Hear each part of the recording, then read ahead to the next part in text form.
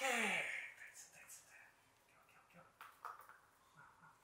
，OK 耶，你好棒哦，乖乖啊，坐下。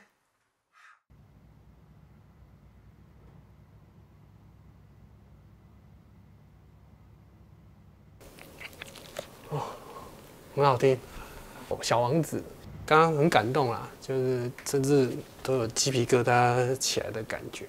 听的过程就开始想念家人跟自己的狗狗，很想回去回去抱他们。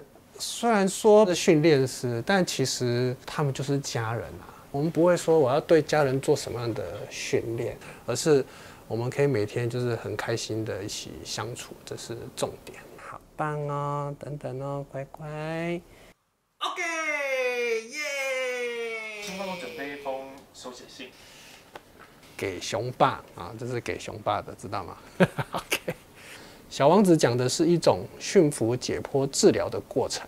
每个人都可以有自己的投射，或许是朋友，或许是动物。有时想驯服，却在过程中被驯服啊！真的，我们想要训练狗，但常常都被狗训练了！请继续让更多的动物与人们在双向驯服的过程中越来越幸福吧！大家一起追求生活上的幸福。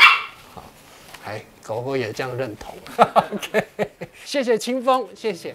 我害怕。